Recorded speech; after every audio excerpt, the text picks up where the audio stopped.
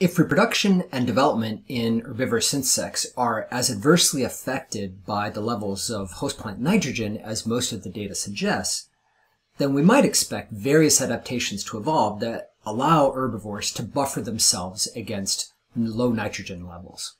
Today we'll talk about some of these uh, adaptations, which include compensatory feeding or variable feeding rates, the selection of high nitrogen sites on a host plant, tracking optimal resources in space and time, either through migration or diapause. We already talked about this a little bit.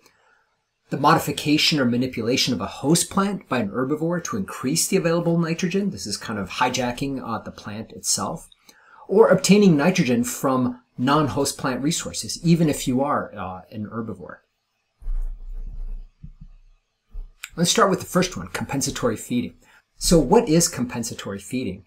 And the short of it is you just eat more food. If the food is low in nitrogen, you just take in a lot more of it. Now, as we talked about in the ecological stoichiometry uh, section, there are some risks of doing this. One is that you may be exposed to toxins in the plants, in your food, that come along with the ride if you're trying to get a lot of nitrogen. And the flip side is that you will get an excess source of carbon that you have to get rid of as you are trying to get that, that nitrogen. So nitrogen occurs in very dilute concentration in plants. And So eating more tissue, either by increasing the rate or increasing the amount of time feeding on that plant, uh, is one way to actually do this.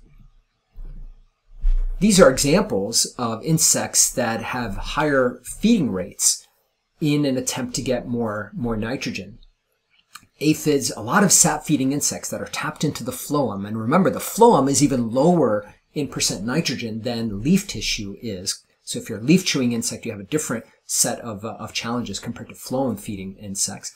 One thing you can do is process a lot of plant juice and to capture that, that nitrogen. So these are spittle bugs. And spittle bugs have this name because in the process of trying to get at that scarce nitrogen, they're pumping through a lot of that carbohydrates, a lot of that uh, sugary solution out of their body, along with water and along uh, with other things. Uh, aphids do this really well. They actually secrete a substance called honeydew.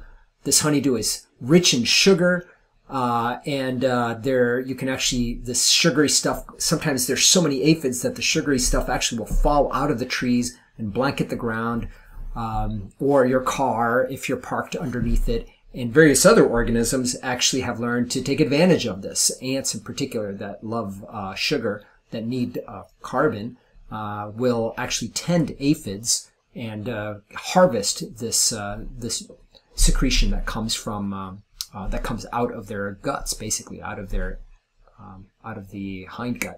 Insects that are adapted to feeding on phloem and xylem have what is referred to as a filter chamber. That is, the front part of the midgut forms a thin-walled bladder that actually wraps around the hindgut, the posterior part of the hindgut, and part of the Malpighian tubules. The Malpighian tubules are these tendril-like things that come out of the uh, at the junction of the hindgut and the midgut that are basically like the kidneys of insects. They serve as a water transport mechanism. And what you can get is the selective re- retention of amino nitrogen and the elimination of excess sugars because of this uh, of this filter chamber. And basically, what happens is that the insect uh, cells in this area secrete car, uh, secrete potassium and chloride salts basically into this area of in the posterior uh, midgut and create an osmotic potential that basically pulls water out of the hemolymph and back into the um, and back into the hindgut, and that's how it gets excreted. So imagine making a really briny solution, a really salt briny solution that's going to try to balance out osmotically, and by and the way it does that is by pulling water out of the tissues after it had been absorbed into uh, into the body. So that's what the filter chamber uh, actually is. Getting rid of water is a problem with xylem insects because these are the ones feeding on the water that comes up. Getting rid of sugar is for the phloem insects that uh, that are feeding on the photosynthate rich um, plant juices coming back from the leaves. Increasing feeding rate is another way to get at that, that nitrogen that may be in low concentrations. This is an experiment that they did looking at leaf consumption rate, how much plant material was eaten in a certain amount of time for different stages of these monarch caterpillars when they were fed on either low nitrogen plants compared to high nitrogen uh, milkweeds. And what you can see here is that, you know, in all cases through all developmental stages, the lower the nitrogen uh, content of the milkweeds, the more they actually fed in order to make up that, that difference. Another way to get at low nitrogen is to feed for a really long time. Things like periodical cicadas that feed as nymphs on the roots of, uh, of plants. The roots where the xylem is coming in is very poor uh, in nitrogen. And, uh, and their developmental times can be on the magnitude of decades uh, almost. And most of the cicadas uh, species uh, that we have actually are xylem fe- feeders and generally have life cycles that are beyond beyond a year. It just takes that long to get at that nitrogen uh, pool. Here's some other examples of xylem feeders, including um, spittlebugs, cercopids, and uh, um, cicadas. Another way to buff, buttress against uh, low nitrogen is to go to places in the plant where the nitrogen is the highest nitrogen is not distributed evenly throughout a plant. Here's an example with plant hoppers again, feeding on plant parts that have variability in their plant nitrogen. And here you can see that the number of plant hoppers tends to be highest in areas where the plant nitrogen is the highest, which in this case was the flowering parts of the, of the plant. Plants have different nitrogen dynamics in them depending on the time of season, the plant part, uh, and so on. Very rapidly growing plant parts are areas where nitrogen needs to be moved in in order for growth of the plant tissues to actually happen. And as a consequence, these are places in the plants where where aphids tend to uh, aggregate.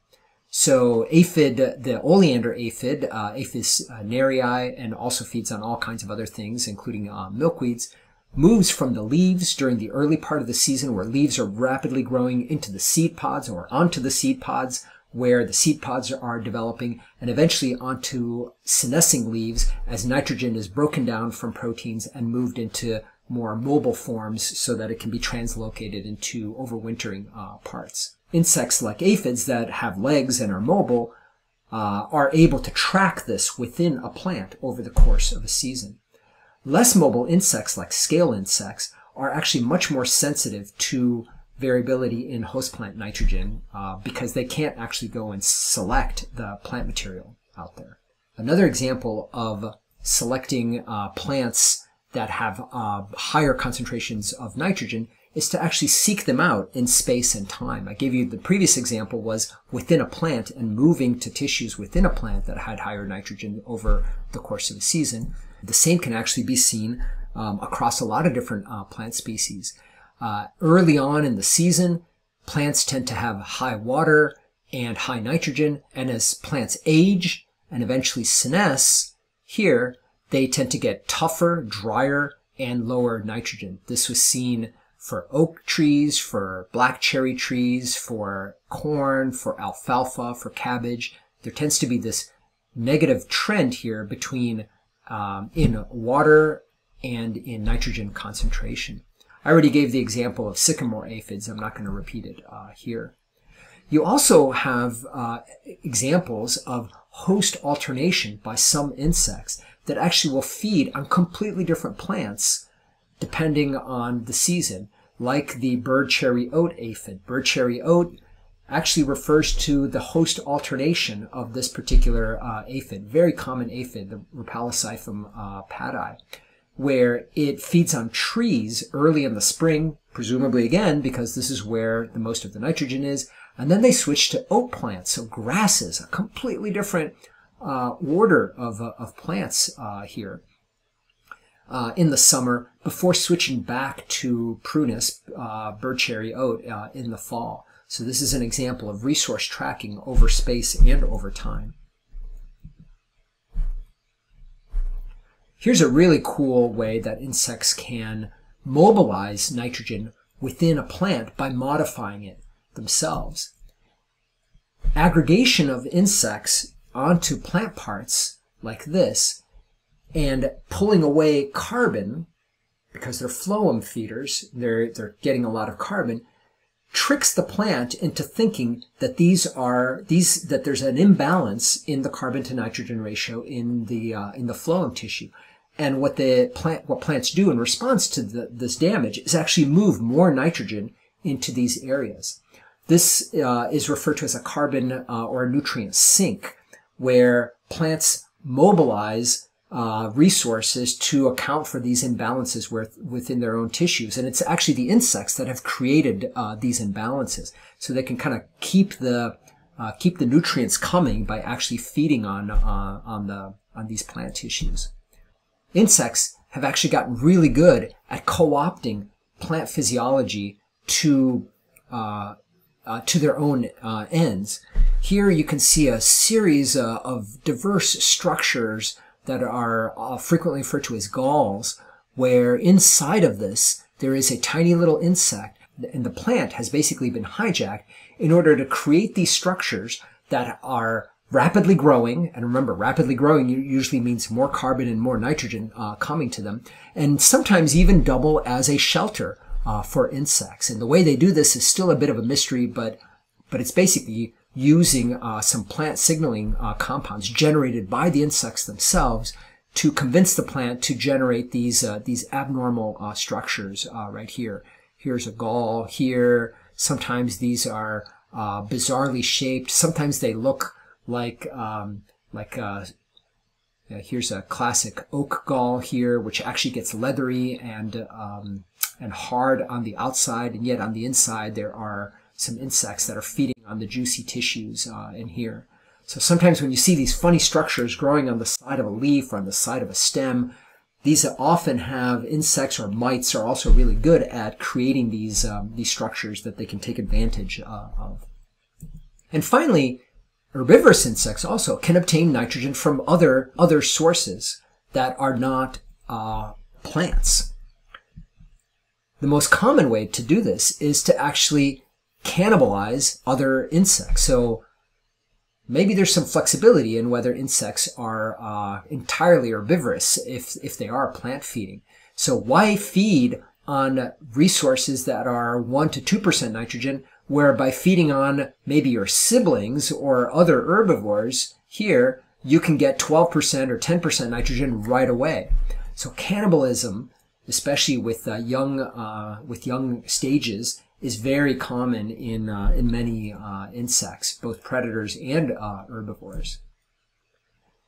Sometimes there is opportunistic carnivory or omnivory. So for an herbivore, uh, they can mix their diets by feeding on other non-plant material like other insects. Species like uh, these plant bugs, Lygus hesperus, are um, famous for doing this. And in fact, sometimes they act as biological control agents. Pentatomids do this a lot. In fact, I couldn't help but include this video here of a uh, pentatomid that I saw today that had uh, skewered a uh, striped cucumber beetle. And if you look carefully here, the uh, female, which is on the bottom, that is being sucked out by the pentatomid, is actually be in the process of uh, being mated by this male who seems oblivious to what's happening uh, around him. Another way to get at uh, nitrogen is to recycle, either by feeding on exuviae or the chorion, that is the cast outer shell of, uh, of an egg. Uh, so you'll often see this behavior where caterpillars will feed on the shell of the egg, which may still have a little bit of nitrogen uh, on there. Coprophagy, that is the feeding on an other animal's waste, is also seen in some insects. Butterflies do this a lot, where they will put their proboscis into splatters of uh, in, of uh, bird uh, fe- of um, bird uh, feces or other animal uh, feces, and that's because some of these um, excreta actually are very rich in uh, salts or in other nutrients that might be absent in the host plants of of these insects you often see these aggregations of um, butterflies, sometimes near stream banks where the uh, water has kind of dropped back a little bit and there's these crusted little pools of concentrated uh, ions that uh, you'll see the uh, you'll see these butterflies actually uh, a behavior that's called puddling. There are many other examples that I'm not going to go, uh, I'm not going to have a chance to go into. Some insects have uh, obligate relationships with microbes, endosymbionts that live in, the, in their guts that allow them to actually get access to particular uh, nutrients that they otherwise uh, wouldn't um, wouldn't have access to, and all kinds of other really interesting uh, behaviors.